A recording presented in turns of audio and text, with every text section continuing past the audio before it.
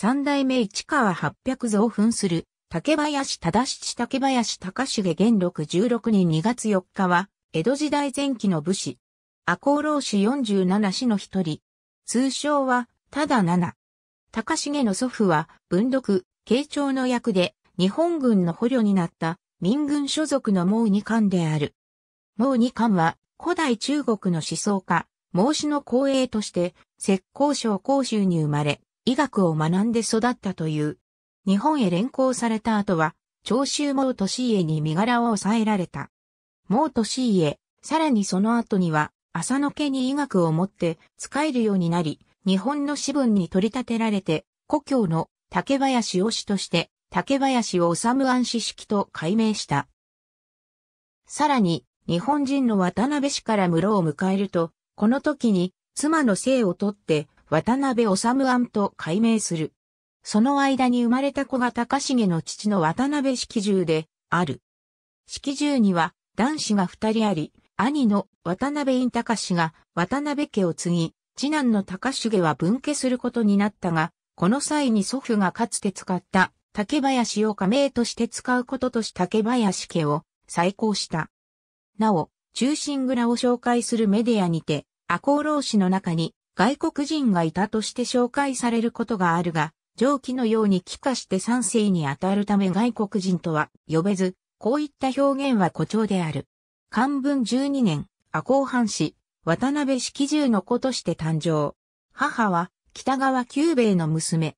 兄に渡辺院隆氏がいる。赤穂藩では中古省15両三人淵で仕えた。元禄14年3月14日、主君、浅野長則が江戸城少子王廊下で吉良義仲に人情に及び、浅野長則は即日切腹、赤穂藩は改易となった。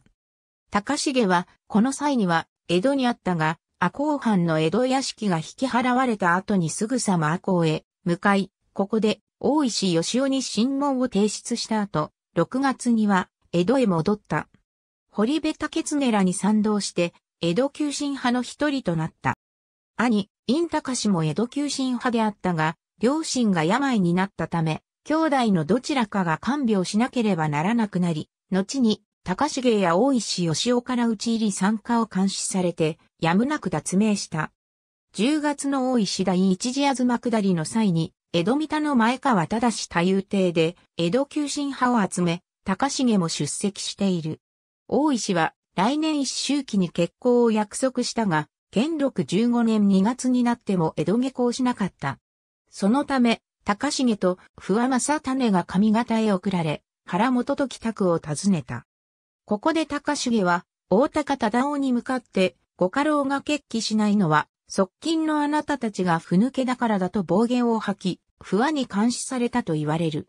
また、6月には、浅草茶屋にて、杉野次房、前原宗房、倉橋武幸、不破正種、勝田武隆と同盟した。この同盟は目的が今一つ不明であるが、同じ中古商で同程度の価格のものとして結び合ったものと思われる。江戸では父や兄の死を取り、渡辺七郎左衛門の変名を使用した。討ち入りの際には高重は表門隊に属して屋内に突入した一人である。しかし一時間余り、赤穂老子たちは屋敷をくまなく探索したが、吉良義仲は見つからなかった。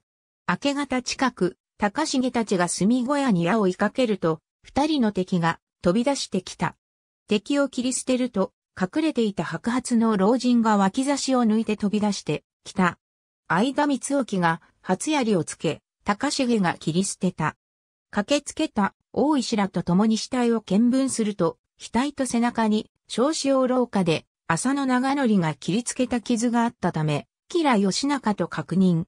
相田光興が首を跳ねた。高重は二番立ちであった。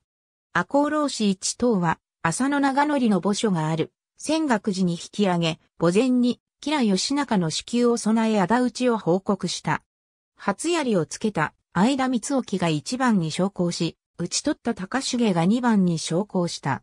高重は、毛利綱元の上屋敷へ預けられた。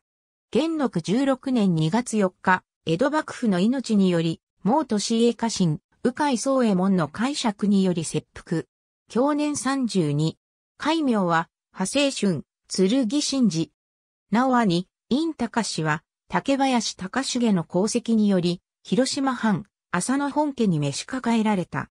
竹林勘助院隆と改名し、竹林の加盟を広島藩に残した。ありがとうございます。